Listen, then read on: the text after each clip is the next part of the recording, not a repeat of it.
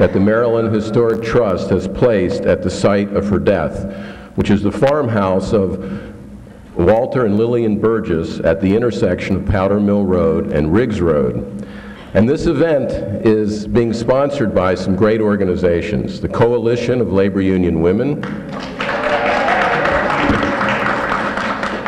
the Labor Heritage Foundation, the Metropolitan Washington Council, AFL-CIO, the National Labor College, and the George Meany Center, and the great union, the United Mine Workers of America.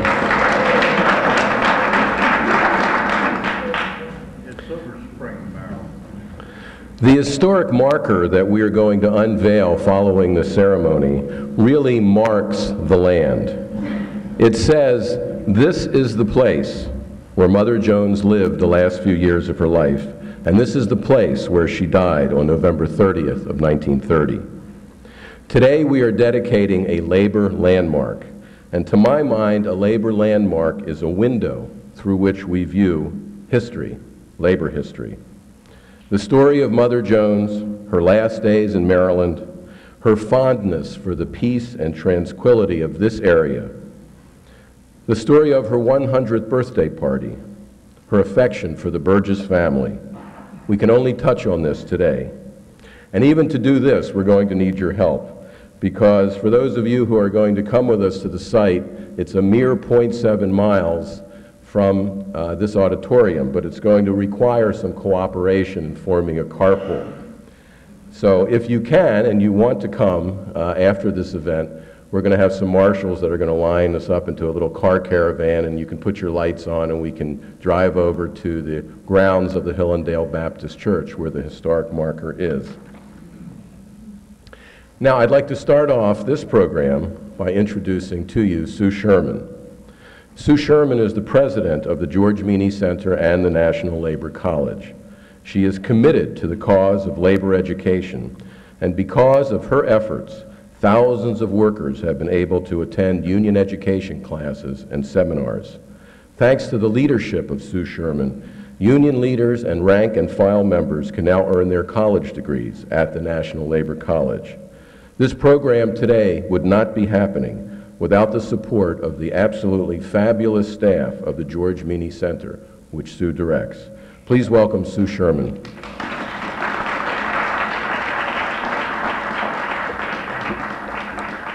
Thank you so much, Saul, and good morning, sisters and brothers. Welcome to Labor's College on this important day when, at long last, we have the opportunity, opportunity to dedicate a permanent marker to one of labor's greatest heroes. Or if Elise is here listening, perhaps I should say sheroes. the legacy of Mother Jones surely combines all that we cherish and all that we aspire to as trade unionists and as Americans. We are honored to host the ceremony here at the George Meany Center. There can be no fitting place than here on the campus that the labor movement built for the specific purpose of preserving our heritage we may never forget those who came before us and that we may recommit ourselves to the struggle for justice and equality that, of all working people. We are proud to co-sponsor this event with the Coalition of Labor Union Women, represented here today by President Gloria Johnson, The Labor Heritage Foundation, represented by Secretary uh, Saul Schniderman, along with others. The Metro Washington Council of the AFL-CIO, represented by President Josh Williams. And the, and the United Mine Workers of America, represented by President Cecil Roberts. We are also honored to have with us several members of Terence Powderly's family. Grandnephew John Powderly. Great-great-niece Sister Pat Corby. And great-great-nephew Robert Corby, a member of the NABET CWA Local 31. Bob informed me that he's on call with ABC for the Supreme Court, and he hopes they'll hold off at least long enough that we can uh, complete the ceremony. I also want to say a special uh, thanks in advance to the Montgomery County Police Department for the help that they are about to give us when the ceremony is concluded. We are proud that our own Elise Bryant will direct the chorus that she helped to found. And that Bob Reynolds, editor of our magazine Labor's Heritage, will share highlights from the recent issue, which is dedicated to Mother Jones and which is on sale uh, here today, and we hope you will all pick up a copy. While an event such as today that we celebrate can only occur through the efforts of many people, there is surely one person without whom it would never have happened. Saul Schniderman's 20 year quest to commemorate Mother Jones' legacy should remind all of us about the power of one individual's commitment.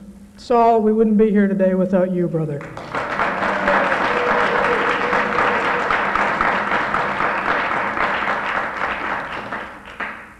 We in the labor movement are often accused, and rightly so, of being obsessed with our past.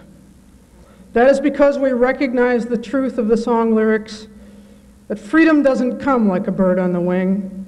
Every generation has to win it again. Today, as we honor the example of Mary Harris, Mother Jones, we rededicate ourselves to the values that were her lasting contribution. Thank you very much.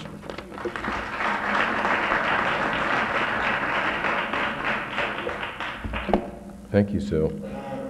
The DC Labor Chorus is the singing arm of our local labor movement. At rallies and picket lines, you'll find the labor chorus raising their voices for equality and social justice. The director, Elise Bryant, is a teacher here at the center, and when she arrived from the University of Michigan a few years ago, she hit the ground running and announced, we need a labor chorus in this area. And here they are today to sing for us, the DC Labor Chorus.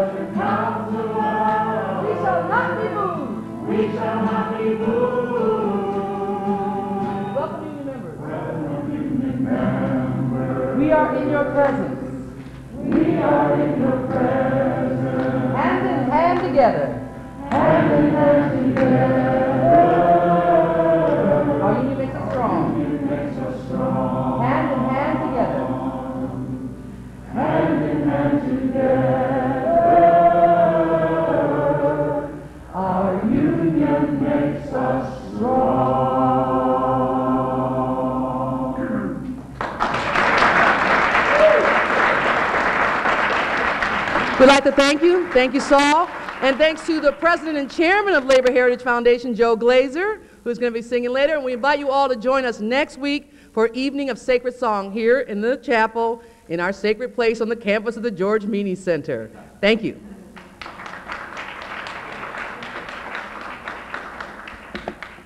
Yes, and there's little announcements on your chairs to remind you of that. Josh Williams has been president of the Metropolitan Washington Council, AFL-CIO, since 1982. And let me tell you, folks, thanks to Josh's strategic thinking and organizing efforts, we have one of the most active labor councils in the United States. His job is to balance the interests of 175 affiliated local unions in the nation's capital. And this is no easy task, but then Josh Williams is always eager for new challenges. He just helped coordinate a successful end to the strike at the Washington Hospital Center. Yes.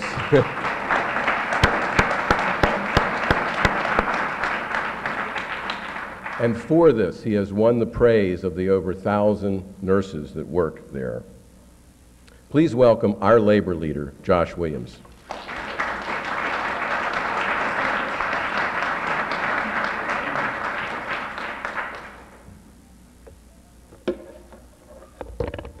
Thank you very much, uh, Saul. And um, I want to join Sue Schurman in, in recognizing just fantastic work that this brother has, um, has done, uh, not only on this issue here, but uh, uh, Saul is someone who's become uh, a rock within the labor movement here in the metropolitan Washington area, someone who I, I can rely on and who I can tell you uh, others, not only here, but across the country, can rely on. He's truly been an ambassador uh, for the uh, American labor movement, and we are proud here in Washington that he's part of our movement here. And I certainly wanted to, um, to thank him personally and ask you to just join me again in giving him another round of applause.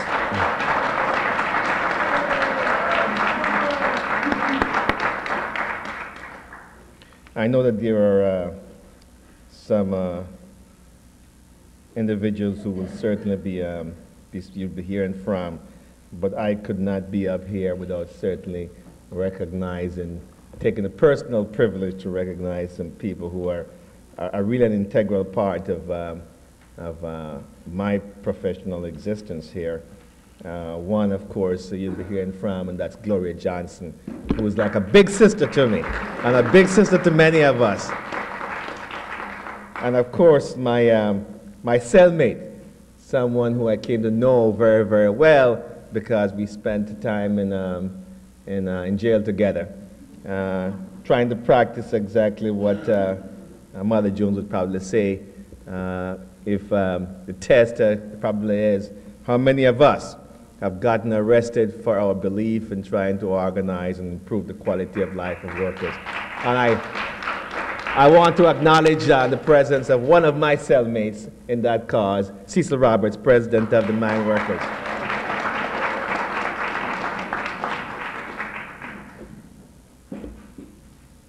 Good morning, brothers and sisters. Let me try again. Good morning, brothers and sisters. This is indeed a great and great uh, uh, auspicious um, occasion. And I want to, to first of all, welcome you all to um, the George Meany's Center. Join again with, um, with Sue Schurman, who's been doing, done a fantastic job, hasn't she, since she's been president, since she's been head of the um, George Meany's um, Center. Sue, great work. I want to bring you greetings from the Metropolitan Washington Council, first of all. Uh, you are here in, uh, in our jurisdiction and I want to uh, thank you all for being uh, present here today. But uh, more, more so, I want to thank you all for the great work that you have done to help build and make this Central Labor Council what it is today. I know Saul um, uh, commented on my work, but my work would not have been possible without the support of, uh, of many of you in here today who are always there uh, when called upon, who have been trailblazers, the one who were there even before uh, my generation, and um, who are here today, and um, uh, you're not getting older, you're just getting better. And I want to thank you all, and I ask you to give yourselves a round of applause for all the work that you have been doing.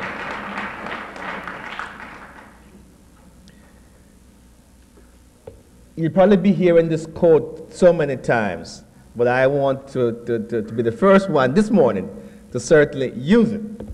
Uh, and I would bring to your attention the famous quote of Mother Jones, which is that we should mourn for the dead, but fight like hell for the living. And Mother Jones fought like hell while she was alive. And we are gathered here today to establish a lasting tribute to the memory of this remarkable labor leader. The historical marker that we will be dedicating today is a tangible reminder of her work. But there can be no greater tribute, brothers and sisters, to Mother Jones than the living monument of work carrying on her proud tradition of battling fiercely for those with the most need and the least influence, of standing up bravely against wealth, privilege, and power. Here in the metropolitan Washington area, where Mother Jones spent her last year after a lifetime of struggle. Our local labor movement is trying to keep the indomitable spirit of Mother Jones alive every day. We try to do it in organizing drives, at rallies, and picket lines, and in the work we do to build solidarity and people power. Mother Jones wore out innumerable pairs of boots, carrying the Union message deep into the mountains of the cold country not far from here. No hill or holler was too remote for her, no worker too unimportant.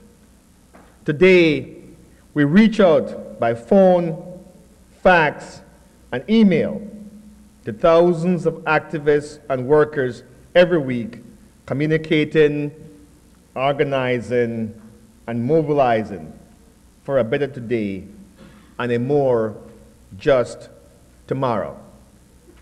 That is the legacy of Mother Jones, and it is a legacy that we here in the metropolitan Washington area are proud to try and live up to.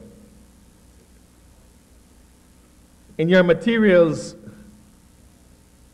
and on your chair, you'll find a small blue card. It's an action pledge card that says we can count on you to volunteer for street heat. I ask you to please, please fill out those cards and hand them in on your way out.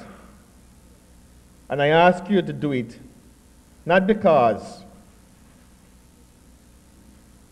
it'll help build the largest street heat operation in the country, not because it'll help win justice and fairness and a better life for workers in our community. I ask you to do so because it's what Mother Jones would be doing if she were here today. Organizing, mobilizing, and moving the labor movement. So do it because Mother Jones would do it and because Mother Jones is in fact here with us today. Thank you all very much.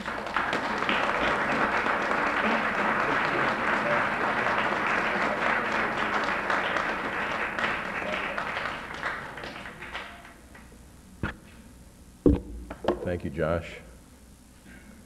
Today we celebrate the life of one of the great figures in American history, in labor history, the miner's angel, the Joan of Arc of the labor movement, the grand old champion of labor, Mary Harris Mother Jones.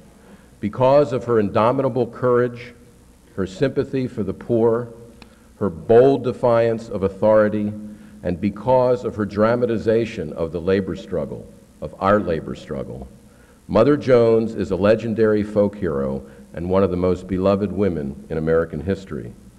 Aren't we fortunate to be assembled here today, remembering her life and dedicating the historic marker at the place of her death, the Burgess Farm? Mother Jones was a union organizer, and she traveled across the country building a labor movement during very turbulent and troubled times. And by the way, before I forget, aren't we so pleased to have Mother Jones with us here today? Helene, please. Mother jo only Mother Jones would come. Thank you.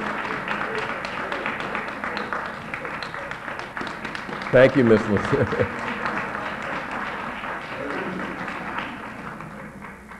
Thank you. Only Mother Jones would come to her own commemoration. she lived out of her suitcase. Once she was asked by a congressional committee where her residence was, and she replied, My address is like my shoes, it travels with me. I abide where there is a fight against slavery. Many a night she slept in the Union Hall, in a cheap motel, or on the floor of a worker's home. She used her handbag as a pillow. Mother Jones was five feet tall and weighed no more than a 100 pounds. With her snow white hair, her black dress and hat trimmed with lavender ribbons, she must have appeared grandmotherly as she carried the Union gospel to places like West Virginia, Colorado, and Alabama, not exactly Union friendly states in the 1900s. She could be kind and gentle, she could be humorous. I met a man in prison once who told me he'd stolen a pair of shoes, she said. I told him if he'd stolen a railroad, he'd be a United States Senator.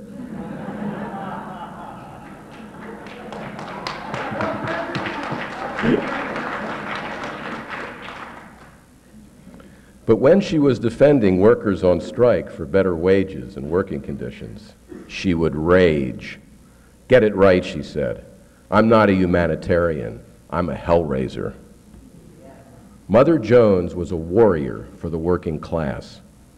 She came from a long line of agitators. Her grandfather was hung in the fight for Irish freedom. She came to Canada in 1838 to be with her father, a railroad worker. She became a teacher and taught in the Toronto public schools. At the same time, she learned the skill of dressmaking. At age 31, she met George Jones, an iron molder and staunch union activist. They moved to Memphis, Tennessee, and Mary gave birth to four children. In 1867, Memphis suffered a terrible yellow fever epidemic, and Mary lost her husband George and all of her children within a two week period. I sat through nights of grief, she said. No one came to me, no one could, because the other homes were as stricken as mine. She moved to Chicago and set up a dressmaking shop, but the Great Chicago Fire of 1871 destroyed her business and she lost all her possessions.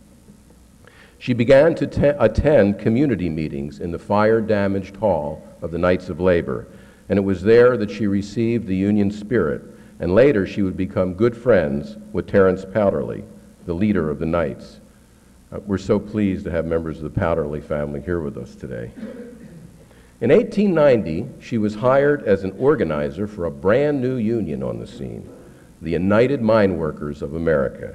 She was 60 years old at the time.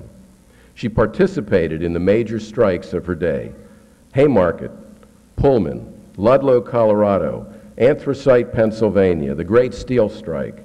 In 1900, she was in Lonaconning, Maryland, helping the Georges Creek miners who struck for higher wages. She stayed with the Powderlys on Fifth Street in the Petworth section of Washington.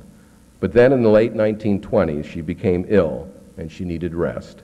And so she was taken in by Walter and Lillian Burgess, who owned a modest truck farm in the rolling hills along Powder Mill Road in the town that was then called Hyattsville. Lillian Burgess, or Lily May as she was called, would become Mother's benefactor and caregiver. This is a sad photograph, but it's the only one that we have that actually shows Mother Jones and Lily Mae Burgess in the same, uh, in the same photo. In, in, 19, in the late 1920s, there wasn't a name for the word caregiver. So oftentimes in the newspapers, you see the word Mother Jones's nurse or Mother Jones's uh, benefactor. Lily Mae Burgess would organize the 100th birthday party at the farm.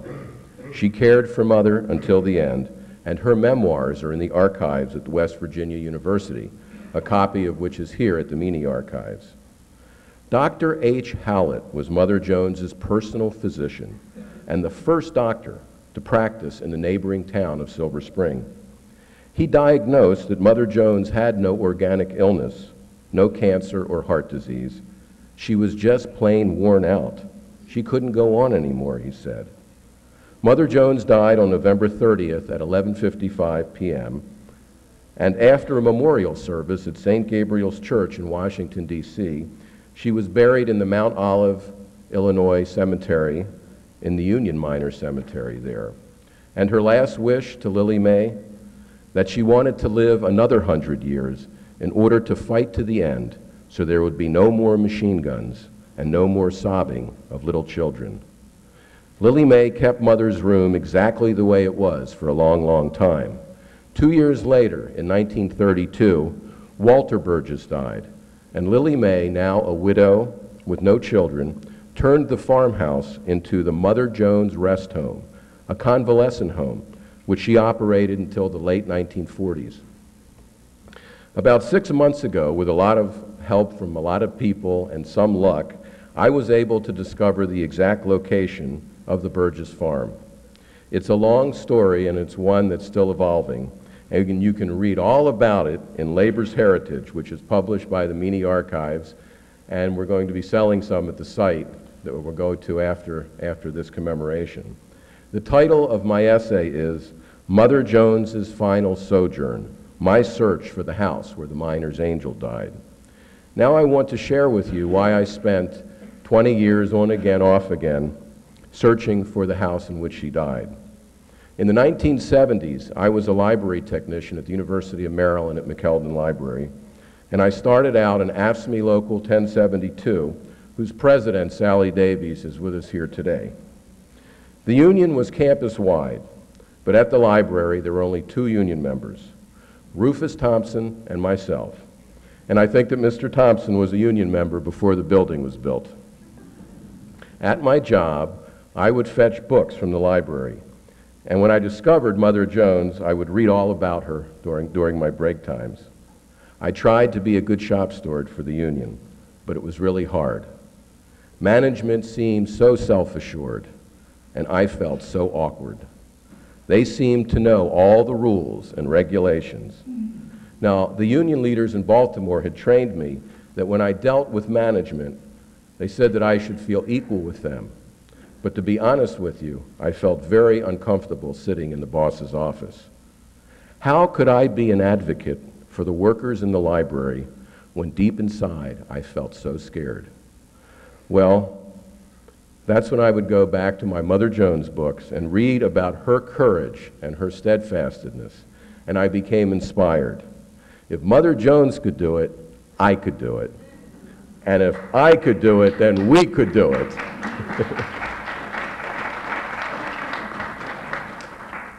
to this day, I have her picture on my mirror, along with that of Paul Robeson, and every day she gives me strength. For you see, Mother Jones taught me how not to be afraid. So you can imagine how humble and proud I feel today participating with you in this program. And now I want to thank the good people of the Hillendale, Adelphi, Beltsville community who helped locate the Burgess Farm. Surrounding the Meany Center is a beautiful community. It has street names like Cherry Hill Road, Sweetbriar Parkway, Pleasant Acres Drive, Wooded Way, and what's the name of the nearest high school to here? High Point High School. These were the hills, the rolling hills of Maryland. And if you stop your car and look around and listen, you'll see in your mind's eye why Mother Jones fell in love with this place. I thank this community from my heart. Thank you, Vanette Fowler, the niece of Walter and Lillian Burgess, and the widow of Bert Fowler, who helped to park cars at Mother's 100th birthday. She couldn't be here today, but Bob Reynolds is going to show some of the photographs from her family album shortly. And by the way, in terms of thank you, uh, we really need to thank Isaac Wilson and Jordan Wright from the Meany Center for putting this program on. Isaac is in the back. He's the technology coordinator for the Meany Center. And a, and a big thanks to Gary Fritz and Brian Law from the United Mine Workers Organizing Department for putting on this wonderful photo show. And now I'd like to ask Alberta Withers French if she could please stand. Would you mind? Just, just, just to be recognized. Alberta Withers French grew up on a farm in the area off of New Hampshire Avenue, across from the Hillendale Fire Department. Her family settled here around 1900, and her older brother worked at the Burgess farm during on the day of Mother Jones's 100th birthday party. Her first cousin was treated by Dr. Howlett, Mother Jones' physician, and Alberta has promised me that when all this is over, she's going to give me a guided history tour of the area. Would any of you like to come along? Thank you. Maybe we can get a bus. and I'd like to ask Rebecca Lock Stanford Smith to please stand. Becky. Becky Smith moved to this area in 1953. She was a teenager at the time, attending Northwestern High School. She called the Powder Mill Road area in the 50s the Boonies. Becky's father, Edgar Lockstamfer, worked at the Washington Navy Yard and was secretary of the local Molders Union. For 20 years, Rebecca lived at 10227 Riggs Road, which was the former personal residence of Lillian Burgess after she moved out of the Mother Jones Rest Home. Thanks for all your help, Becky. And last but not least, Reverend William Moyer the pastor of the Hillendale Baptist Church, which sits on the property formerly known as the Burgess Farm. Reverend Moyer has a keen interest in history and has helped Bob Reynolds and I immensely with this project. It was Reverend Moyer who discovered in his church's archives the deed and other historic documents identifying the site, and it was Reverend Moyer who picked me up off the floor after I fainted. thank you, Bill, and thank your congregation, for all of us here.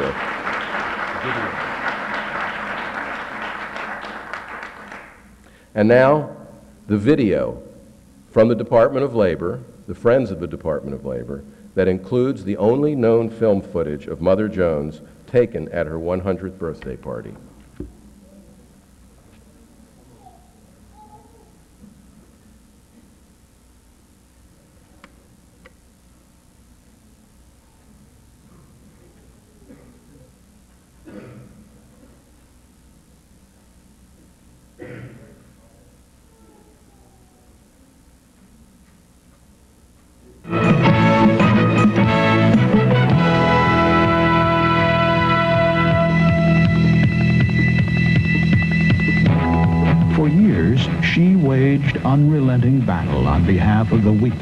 Society.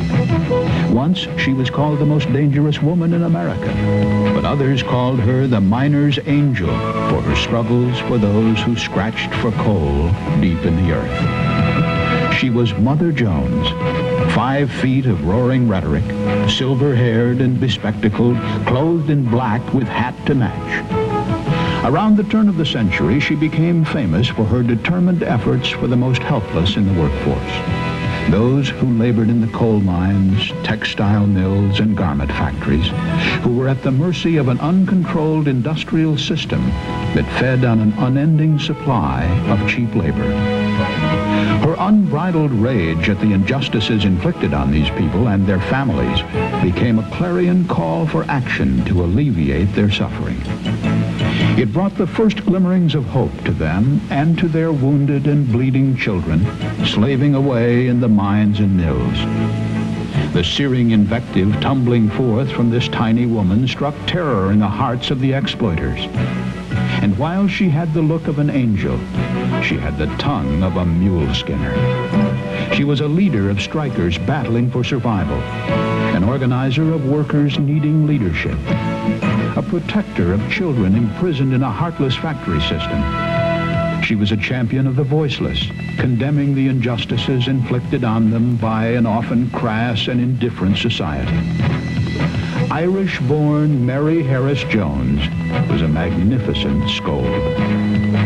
She was the monumental conscience of a country absorbed in accumulating wealth at the expense of a ceaseless flow of immigrant workers who sought a better life in the New World.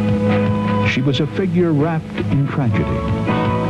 Her Union husband and four children perished in an 1867 epidemic of yellow fever. Later, her modest dressmaking business was wiped out in the Great Chicago Fire of 1871. But rather than weep for her loss, she began helping those less fortunate, preaching her belief that their best route to a better life would come by joining together for mutual strength and support.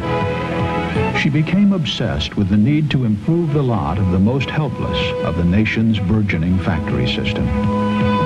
The end of the 19th century found her moving from mining camp to mining camp, urging those beset by starvation wages and deplorable conditions to join together for mutual help in the newly formed United Mine Workers Union. She became a welcome figure wherever workers struggled for survival, urging organization, cursing the oppressors, rallying the women and children along with the workers in their own defense. She was a valiant woman doing a man's job in a man's world. She adopted workers as her children, and they, in return, called her mother. Her name was forever linked with the coal miners' massive battles in such as Ludlow and Cripple Creek in Colorado, and Fairmont, New River, and Paint and Cabin Creeks in bloody West Virginia. Her crusades against child labor became legend. She met with the nation's presidents from McKinley to Coolidge on behalf of her people. And as late as her 80s, she was still marching and organizing, enduring unbelievable hardships, assassination threats, and jailings. She was uncompromising in her struggles against the power structure. She even fought union attempts at accommodation with the corporate enemies and broke with such miners' leaders as John Mitchell and John L. Lewis. She was, in short, a revolutionary. Introduced once as a humanitarian, she snapped, get it right, I'm not a humanitarian, I'm a hell raiser. Shortly before she died in 1930, she firmly spelled out her philosophy for the newsreel camera. You know, I am considered a Bolshevik and a Red and a W and a Radical, and I admit being all the I looked in all they charged me with. By many things, it was changed money civilization to a higher and grander civilization for the ages to come. And I long to see the day when labor will have the destinies of the nation in her own hands and that she will stand a united force and show the world what the workers can do. When she died at nearly 100, Mother Jones chose to be laid to rest among her beloved coal miners in the Union Miners Cemetery in Mount Olive, Illinois, faithful to the end.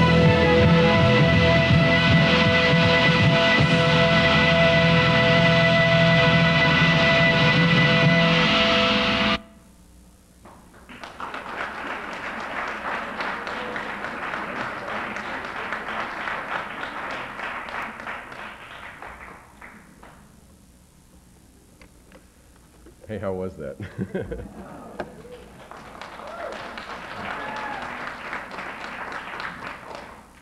and she will stand a united force and show the world what the workers can do. Ray Gomez, thank you for the lights. Can we have a round of applause for Ray, please?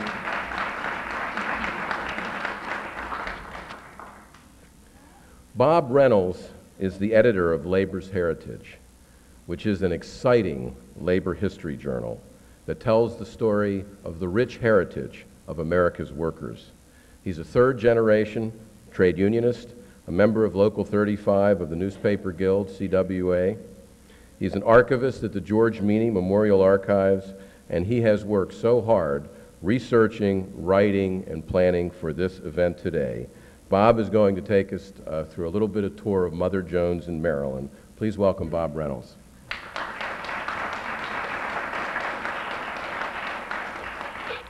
Mother Jones is a tough act to follow. Speaking of work, Saul has been putting 20 years of his life into this, and you have no idea how much work this gentleman has put in. I have mainly followed in his path and uh, picked up a few things along the way.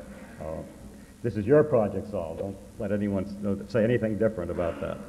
I just want to say how delighted I am to the support that I've received with regard to this project and to be a a member of the, the Meany Center, National Labor College, and uh, the resources we have here uh, to make it, the, it is the greatest labor education center anywhere, and uh, it will continue to be so and grow forward.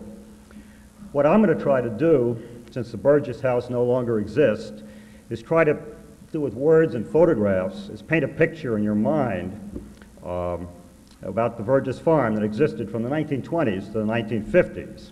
It's an incomplete story, so that Saul and I welcome the help of anyone as we continue to dig for the entire account of Mother Jones' final years and her legacy to the community. Uh, this is a story, labor story, it's a community story, it's a story of American history, and it needs to be told, and we need to get everything we can. So let's start with the first. This is uh, a map from the 1950s with the uh, Meany Center and the Burgess House added to give you a sense of how nearby Mother Jones lived. You have the Meany Center, Powder Mill Road, and it, as it intersects Riggs Road, and the Burgess Farm was this area here. Next. This is the Walter and Lily May Burgess home, which is about 1924, with we assume it's Lily Mae Burgess standing out front. Next. This is Mother Jones enjoying the peace and tranquility of the Burgess farm uh, on October 11th, 1929. She was hale and hearty, and you can see she's clearly enjoying herself. Next. This is the picture on your program. Uh, Mother Jones is seated between Walter Burgess and his nephew, Bert Fowler on the front porch of the Burgess home, probably 1928 to 1929. This and the other photographs of the house were provided to, to Saul and me by Vanetta Fowler, as Saul alluded to, Bert's widow.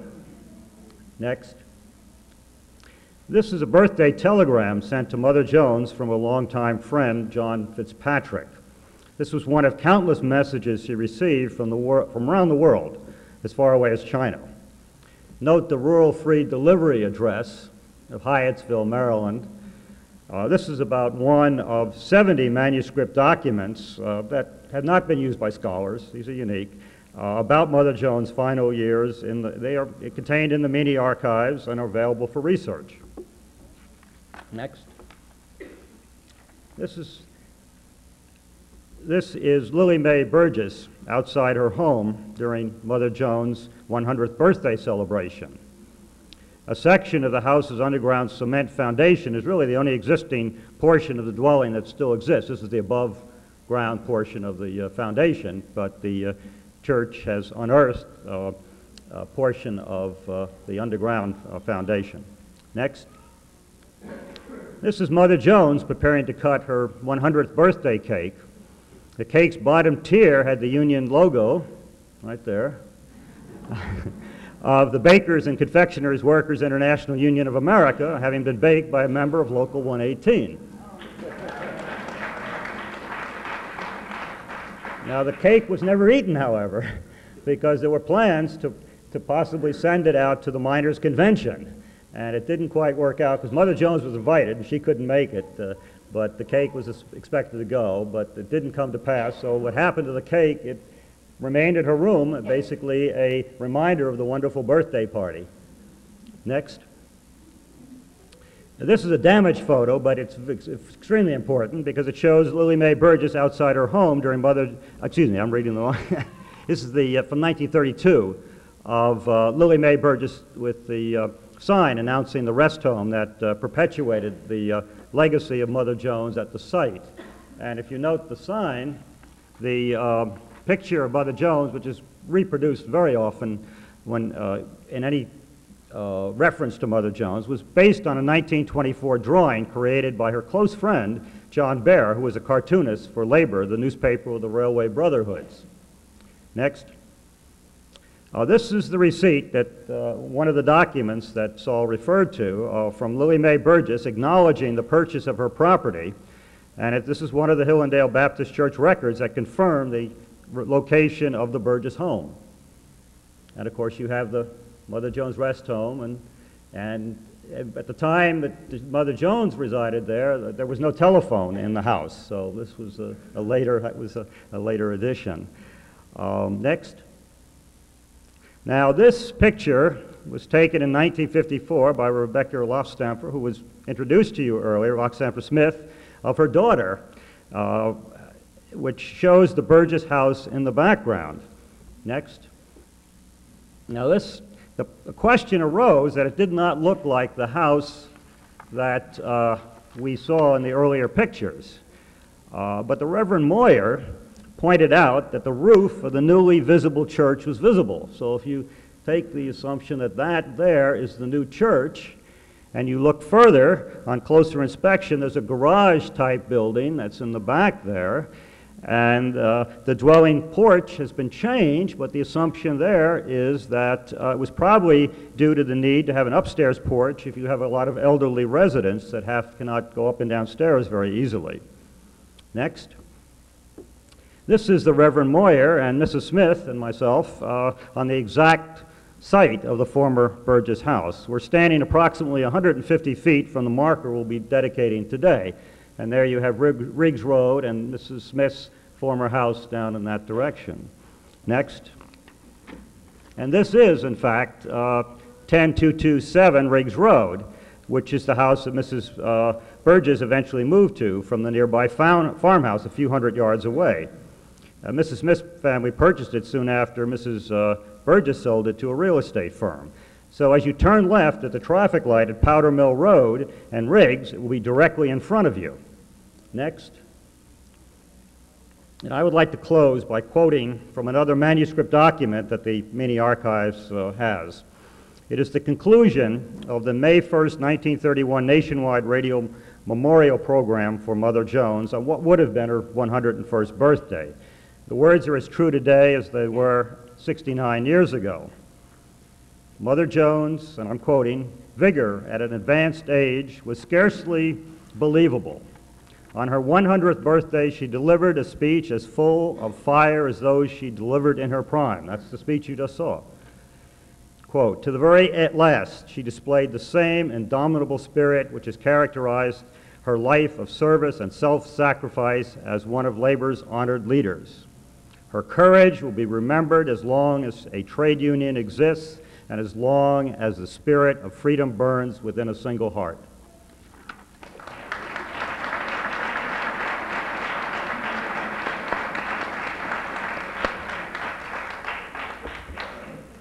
There were so many telegrams coming out to the farm for Mother's 100th birthday.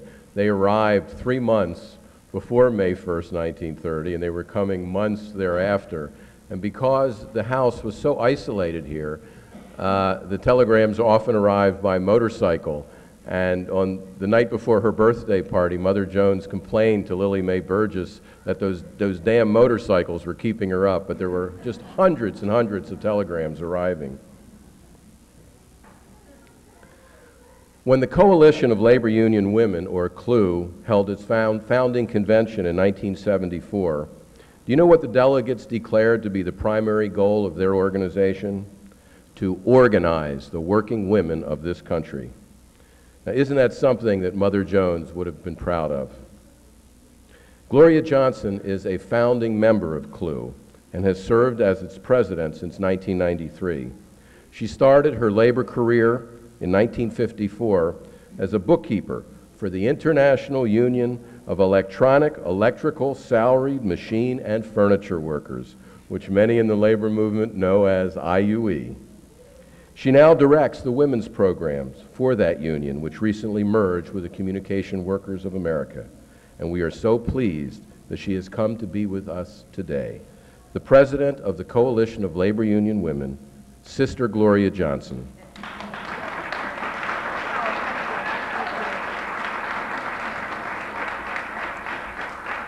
Thank you very, very much. Um, I don't know about the rest of you, but isn't this a wonderful occasion? A wonderful occasion. And uh, I am so thrilled that the Coalition of Labor Union Women has played a part in, in making it happen. Unfortunately, our person who has worked with you uh, is not able to be here this morning, but I do want the records to show that we thank Nicole Kresh, who is the director of the CLUW Center for Education and Research, for her work with you. Uh, you mentioned the founding of CLUW, and out there is Joyce Miller, who was the second president of CLUW. Joyce, would you stand? Joyce Miller. Jo, uh, Joyce Miller was president for many, many years, and when she left, I was elected. But on behalf of CLUW, its officers, and members throughout the country, I welcome you to this historical event remembering Mother Jones. And I'm so pleased that CLUW is one of the sponsors of this great event. As an organization of union women, it is fitting that CLUW joins in honoring this remarkable person. Many years ago, someone gave me a copy of the autobiography of Mother Jones. The first copyright was in 1925. The second issue was in 1972, and the third edition in 1974. And it is a remarkable book and has provided some of the wonderful history of Mother Jones that uh, I think, Saul, you would be interested in if you, all, if you do not have it already. Clarence Darrow, who wrote the foreword for the third edition, uh, described Mother Jones as one of the most forceful and picturesque figures of the American labor movement. In her early life, she found in the labor movement an outlet for her sympathy and love and daring. He goes on to say that Mother Jones was essentially an individualist with her own emotions and ideas so strong that often she was in conflict with others fighting for the same cause. In all her career, Mother Jones never ran away. Her deep convictions and fearless soul always drew her to seek the spot where the fight was hottest and the danger the greatest. She was not in, awed by guns or jails. Uh, she kept on her way regardless of friends and foe. She had but one love to which she was always true, and that was her cause. And over and over again, she was sentenced by courts. She never ran away. She stayed in prison until her friends opened the door for her to leave and her personal non resistance was far more powerful than any appeal to force. But there are a couple of stories in this book that illustrate, I think, two things about Mother Jones. Uh, first, a sense of humor, which is just tremendous, and the ability to strategize to get attention, because one thing was pretty clear, Saul. She liked the spotlight. And so, and she knew how to get it. But the one chapter is called How the Women Mopped Up Coaldale. That's the, and this was in Maryland as well. There was a strike, and she says she was there.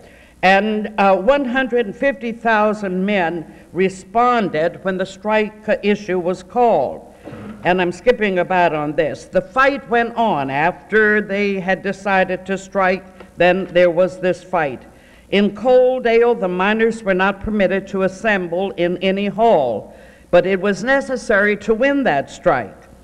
And she said, I went to a nearby mining town that was thoroughly organized and asked the women if they would help me get the Coaldale men out. I told them to leave their men at home and to take care of the family. And I asked them to bring their kitchen cloths and mops and brooms and a couple of tin pans. We marched over the mountains 15 miles, beating on the tin pans as if they were cymbals. And, the, and, and of course, there were those who objected. I'll charge with bayonets, said one of the opposers. On whom? Mother Jones asked. On you people. We are not enemies, she said. We are just a band of working women whose brothers and husbands are in a battle for bread. And these women kept up banging these uh, pans until daybreak. And suddenly, the opposition saw these women in kitchen aprons with dishpans and mops, and they had to laugh. And they laughed and they let us pass. An army of strong mining women makes a wonderfully spectacular picture. And as the women paraded by with their tin pans, and they were beating this out on the tin pans, join the union, join the union, join the union. And she said, and every man there did join the union. And then she said, and I went even further. Anybody I ask who's not organized, let's join the union. And I thought that was such a tremendous story. Just.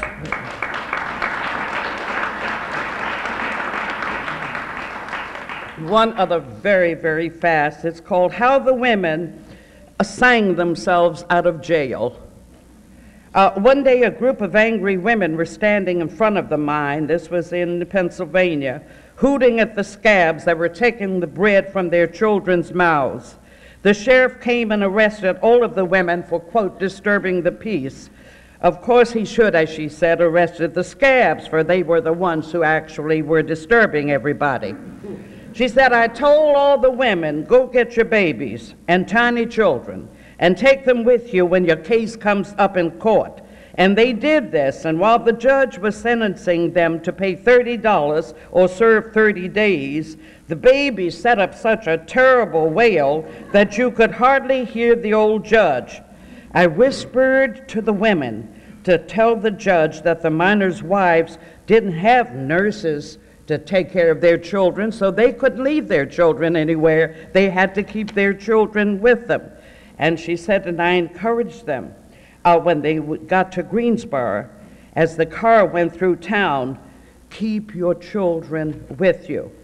And what you do is, when you take your kids into this jail, you sing the whole night long.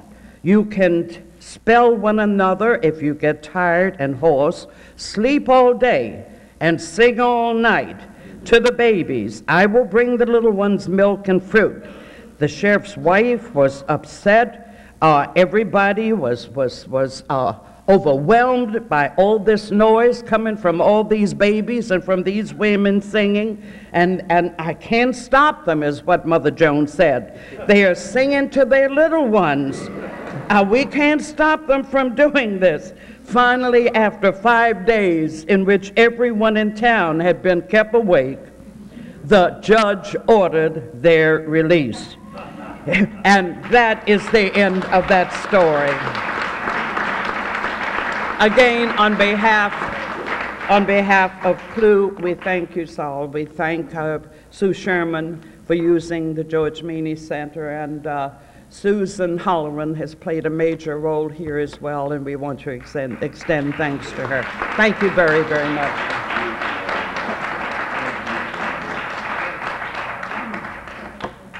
Thank you, Gloria, for those wonderful stories.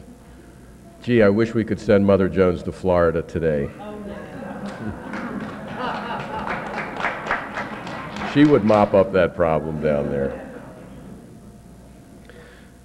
This is from the Associated Press Wire Service from Mount Olive, Illinois on December 7, 1930. More than 4,000 pay last tribute to the champion of miners. Mine workers throughout Illinois and from the coal fields from many other states gathered here today to pay last tribute to Mary Mother Jones, who will be buried in the Miners Union Cemetery here tomorrow morning. The eulogy of Reverend J.W. McGuire was broadcast over the American Federation of Labor radio station, WFCI of Chicago. Wealthy coal operators and capitalists throughout the United States are breathing sighs of relief, while toil worn men and women are weeping tears of bitter grief. The reason for this contrast of relief and sorrow is apparent. Mother Jones is dead. You know, the coal miners stuck with Mary Jones right from the beginning until the very end when she was laid in her final resting place in their cemetery. Is it any wonder that the coal miners called her mother and she called them my boys? Well, brothers and sisters, one of Mother Jones's boys is with us today. Cecil Roberts, the president of the United Mine Workers and a crusader for justice in the coal fields. Born in Cabin Creek, on Cabin Creek in West Virginia, Cecil led the 10-month strike against the Pittston Coal Company, and for his role in that strike, he won the Rainbows Coalition Martin Luther King Award. In 1995, he assumed the presidency of the great union, the United Mine Workers of America. Please welcome President Cecil Roberts. Yes, yes, yes.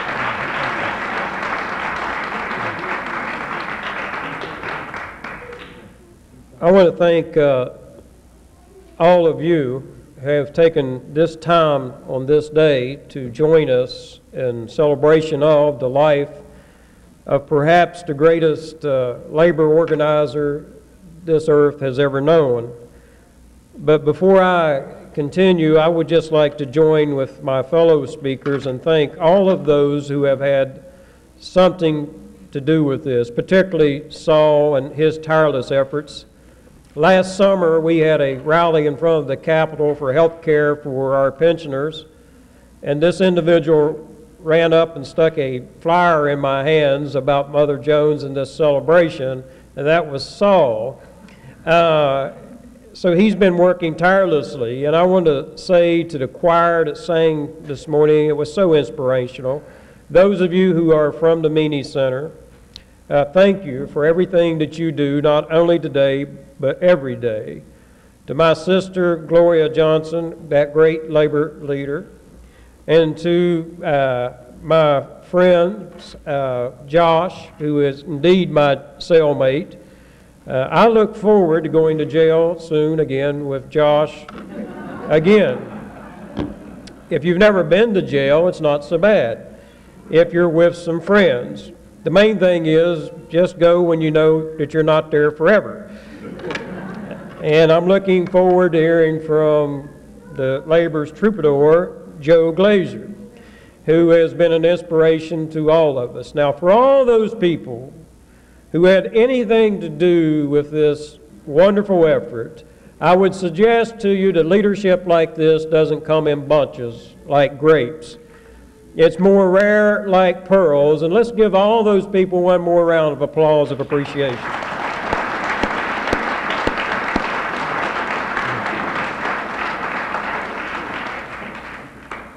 And I want to thank you for that nice round of applause, but I know why I got it. I'm last.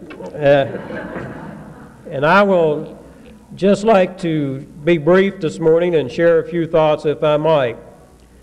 One of the things that I'm very proud about is the union that I come from.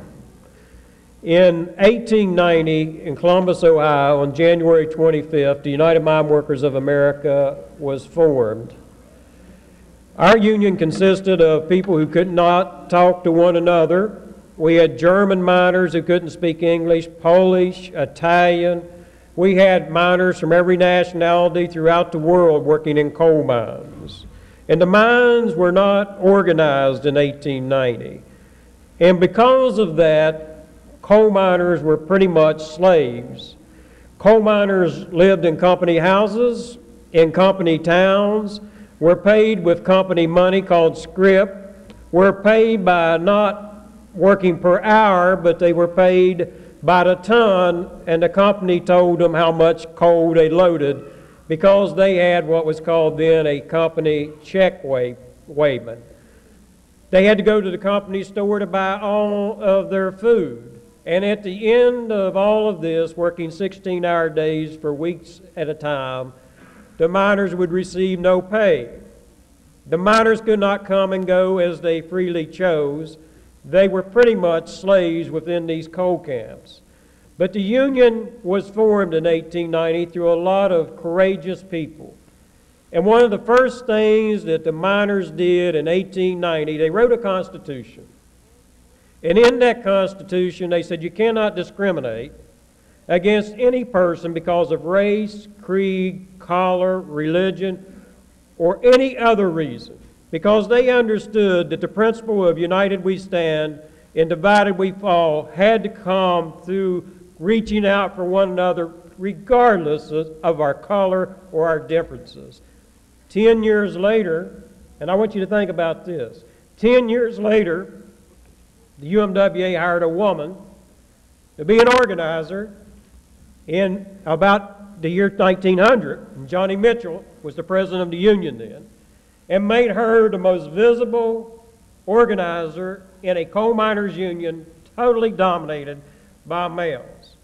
Now, Mother Jones has been called a lot of things, not only today, but she has down through the years and at that time. But there's one thing no one ever doubted, whether they were friend or foe, and she wore this very proudly. She said, I'm just a hell raiser. But Mother Jones had a lot to raise hell about because at the time she became an employee of the UMWA and an organizer in 1900. Seven year old children of coal miners went to work in the coal mines. Miners developed what they became uh, affectionately known by the many in the coal camps as miners' pneumonia, which was black lung. Miners died at a young age. They did not have freedom of assembly or freedoms as we know it today. So she went about the business of trying to change all of that. And you heard in the introduction that I'm from a place called Cabin Creek. I was born 15 miles up a holler, and then you turn right. And you go on a dirt road back into the hills a little bit further. I was born in a company house delivered by a company doctor in 1946. So it hasn't been that long ago since we got rid of company towns. I lived in a company town until I was 12 years old. I bought my first boots in a company store in 1971 when I started working the mines. So we haven't been shed of the company store and the company houses very long back in West Virginia, about 30 years. But in 1912, the miners went on strike on Paint Creek. They had a union on Paint Creek, and they were striking for a better contract. They wanted their own check weighman, so a union person could be the one who said, This is how much you earned today. That's a novel thought, isn't it? And they also wanted a little increase on the per ton basis. By the way, the companies had their own tonnage back then. A ton didn't weigh 2,000 pounds in the coal camps, it weighed 2,500 pounds. Miners went on strike over those conditions. Cabin Creek, where I'm from, the miners were non union. They saw what was going on just over the hill on Paint Creek, and they said, This is a good time for union recognition. So they struck a song for union recognition. Now, the first thing that happened is the coal operators went up Paint Creek and up Cabin Creek and they evicted every striking miner from their homes the mothers, the fathers, the children, the grandparents, and they loaded them on a train and took them off company property and pitched them. So the striking miners woke up one day and they were sitting by the railroad track and they had to live in tents. And then the companies hired the Baldwin Felts thugs to build machine gun bar- barriers and put machine guns on the property to keep the miners off of their property.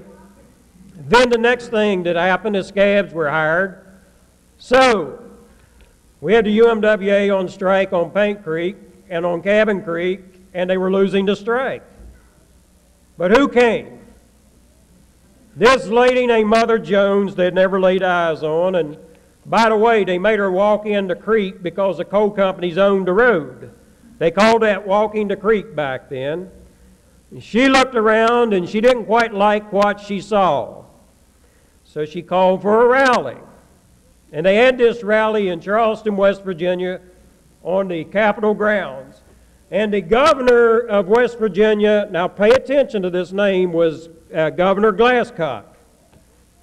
Governor Glasscock was for the coal companies. Governor Glasscock was against the miners. So she started out her speech that day, and forgive me for this, but this is what she said.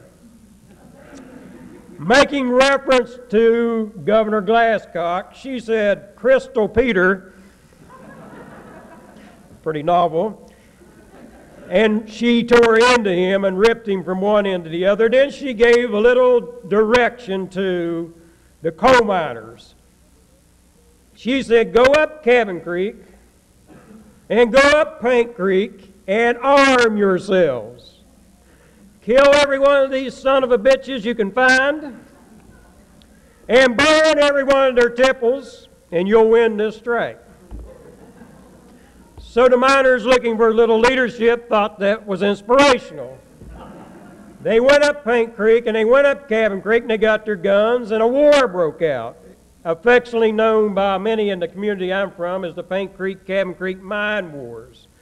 Martial law was declared and then Mother Jones was put in prison, basically, in this house uh, in Pratt, West Virginia during martial law.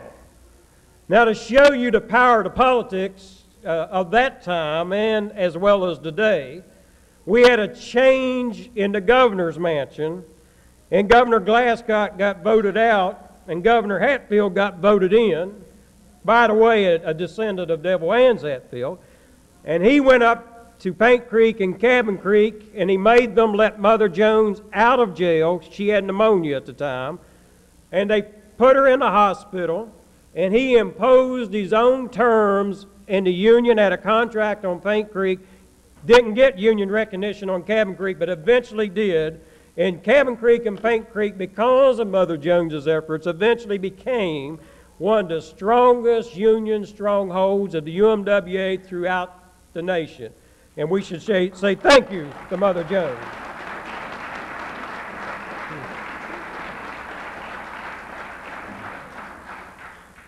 Just one thing to all the women, if I might. Mother Jones, when someone tried to call her a lady, said, I am not a damn lady. Excuse me, she said, I am a woman. She said, The rich aristocrats made ladies, but God Almighty made women.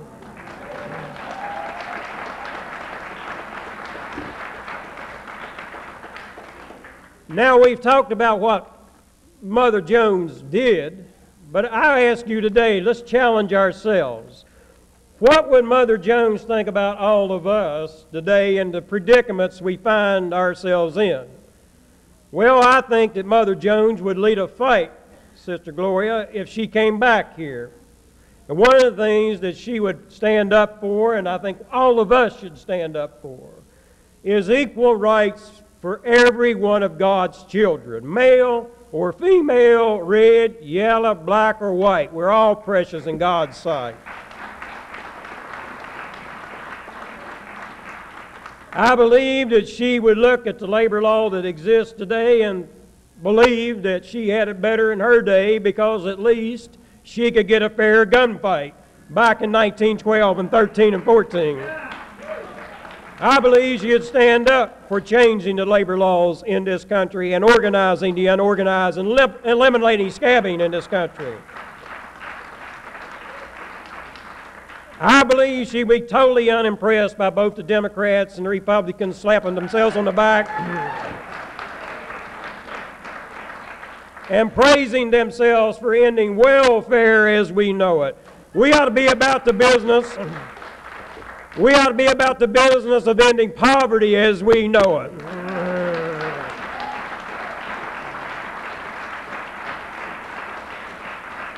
And I believe she would tell all of us that every one of God's children that lives in the United States of America ought to have the same health coverage as the President, the Vice President, and Congress, and the Supreme Court.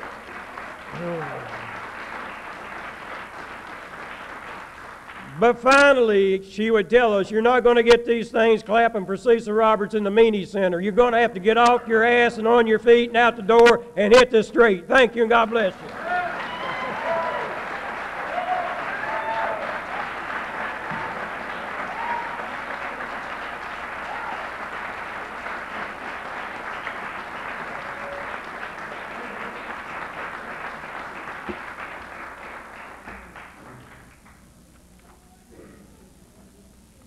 You, Brother Roberts. Thank you for those inspiring words.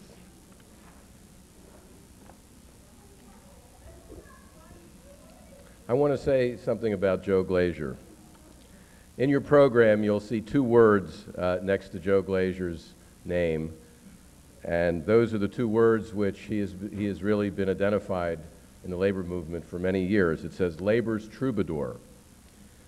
But if you examine the body of Joe's work as a singer and a songwriter and a labor educator over the years, I think you'll find that really the two words are solidarity and tradition. Because to me, that's what Joe Glazer is all about. He's the chairman of the Labor Heritage Foundation and the founder of the Great Labor Arts Exchange. Please welcome Joe Glazer.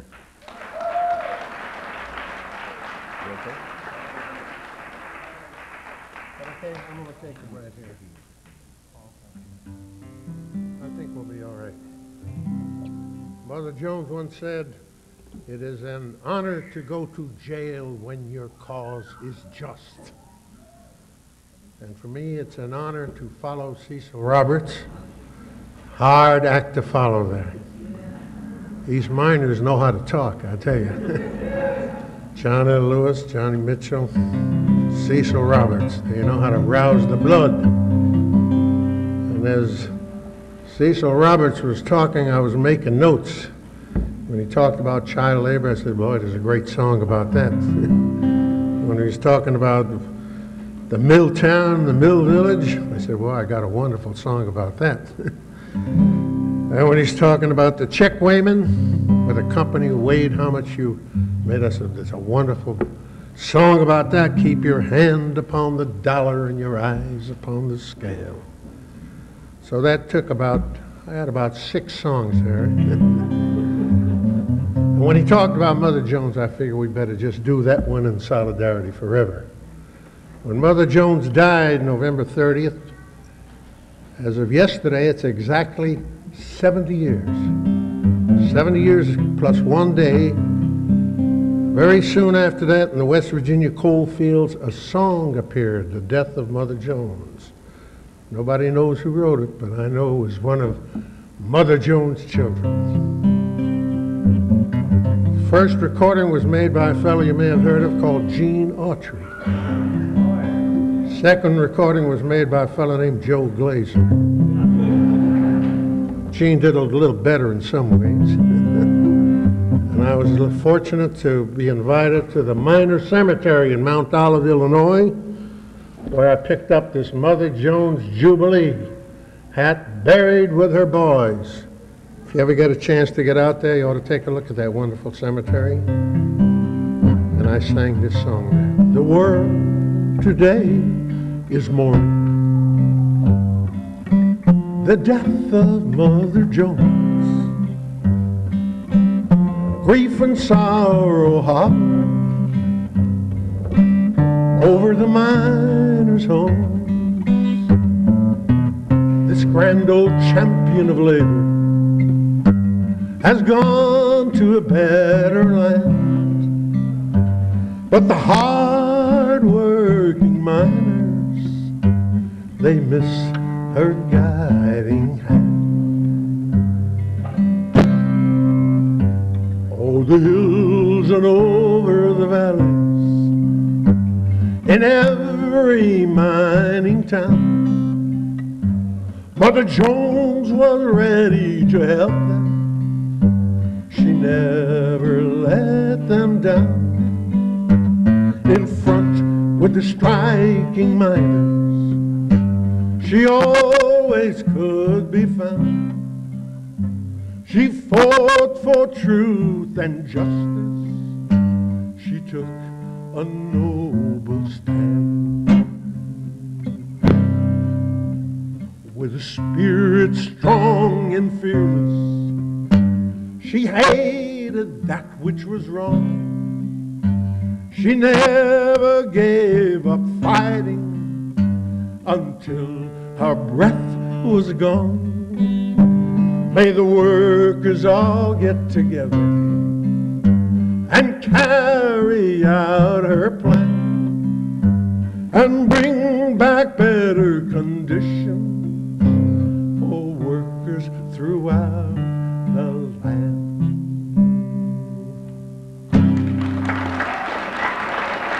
All right. What's that?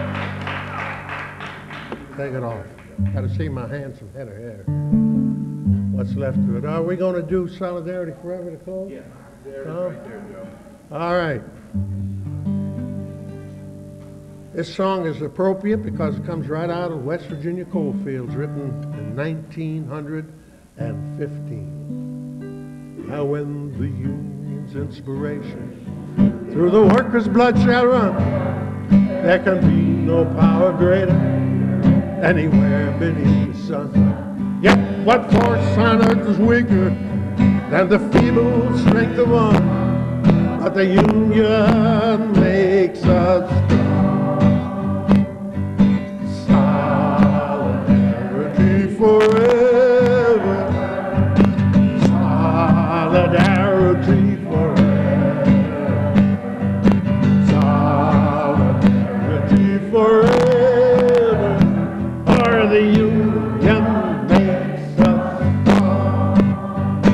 they have taken unto millions.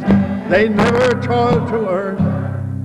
Without our brain and muscle, not a single in return. We can break their haughty power, gain our freedom when we learn that the Union makes us.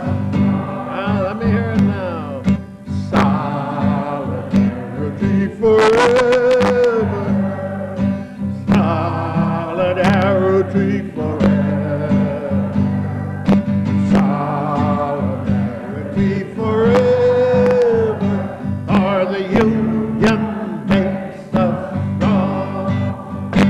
In our hands is placed the power greater than the herd of gold, greater than the might of armies, magnified a thousandfold. We can bring to birth a new world from the ashes of the old, for the Union makes us solidarity forever, solidarity forever, solidarity forever, for the Union. One more chorus, very, very quiet, quiet.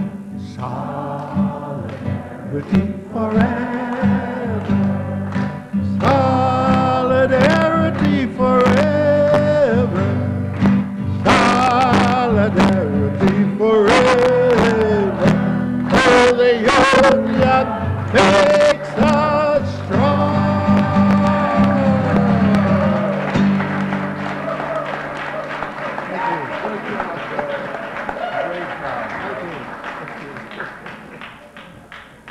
Thank you, Joe Glazer. Now, Labor's Troubadour, a new book is coming out this year about Joe's life in the labor movement. Now, let, let me just ask this question.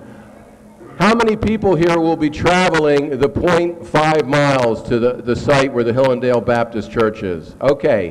What we're going to do there, if when you leave here, and please don't dilly-dally, okay? If you'll go to your cars and look for a Julie, the, the, someone with an orange vest, we're going to pull right behind that car and we're going to wait there and line up like a funeral procession although we shouldn't call it that. Please put your lights on and line up, even if, no matter what parking lot you're at, and then we're going to leave in about five to 10 minutes from here. So we're going to be traveling down Powder Mill Road and making a left on Riggs and going to the, going to the parking lot of the Hillandale Baptist Church.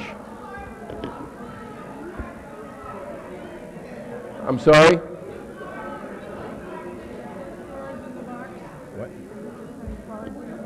Oh, please put your cards in the box, your blue cards for the Metro Council. There's a box that Isaac has at the end. And please pick up a copy of Labor's Heritage, the magazine, which is here for $5, or you can pick one up at the parking lot. Um, there will be a very short there will be a very short ceremony at the lot. We're going to unveil the historic marker, and um, then we're going to go home. So please go to your cars. Thank you.